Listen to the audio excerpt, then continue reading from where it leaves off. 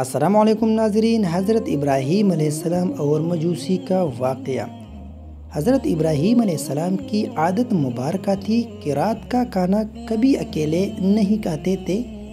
किसी न किसी को ज़रूर मधु फरमाकर खाना नोश फरमाते थे। एक रात हसब आदत आप किसी मेहमान का इंतज़ार कर रहे थे कि किसी ने दरवाज़े पर दस्तक दे दी। आपने दरवाज़ा खोला तो देखा, वह एक अस्सी साल का बूढ़ा था।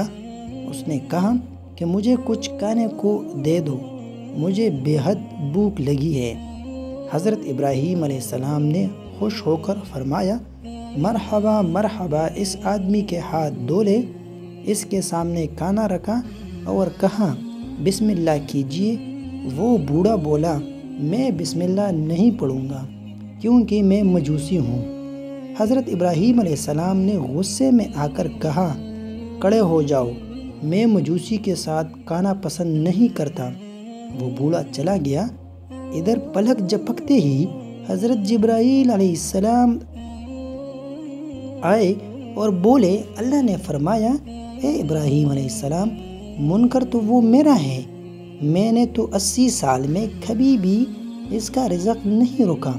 अस्सी साल से वो मेरी नाफरमानी कर रहा है, मुझे नहीं मानता, मुझ पर ईमान नहीं लाता, लेकिन इसके बावजूद अस्सी सालों में मैंने एक दिन भी उसको भूखा नहीं सुलाया। हज़रत इब्राहीम सलाम ये सुनते ही इस मजूसी के पीछे दौड़े, थोड़ी दूर गए थे तो वो मिल गया। आप सलाम ने फरमाया, ए अल्लाह के बंदे मुझे माफ़ कर दो और मेरे साथ चल कर खाना खा लो। आपकी वजह से अल्लाह मुझसे सख्त नाराज़ हो गया है। मजूसी बोला कि कौन अल्लाह?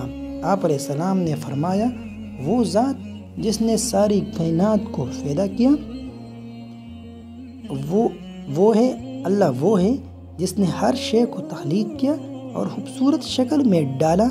अल्लाह वो है जो तमाम मखलूक़ात को रज़क देता है, जिसने तुझे और मुझे अब तक ज़िंदा रखा हुआ है। मजूसी हज़रत इब्राहीम सलाम की ये बात सुनकर रोने लगा और बोला, क्या कहने हैं? तेरे रब के, ए अल्लाह के बंदे, तेरे रब का तो अखलाक बहुत आला और अजीम है। मैं इतने प्यार करने वाले अजीम रब पर ईमान लाता हूँ। चुनानचा उसने कलमा पढ़ा और अल्लाह पर ईमान ले आया। अज़ीज़ दोस्तों, हमें नफरत गुनाहगार से नहीं बल्कि इसके गुना से करना चाहिए। जो कोई भी इंसान किसी गुना में मुबतला हो, उसे नफ़रत नहीं करनी चाहिए, बल्कि उसके लिए हिदायत की दुआ करनी चाहिए। अल्लाह हम सबको समझने और नेक अमाल करने की तौफीक अता फ़रमाए। आमीन।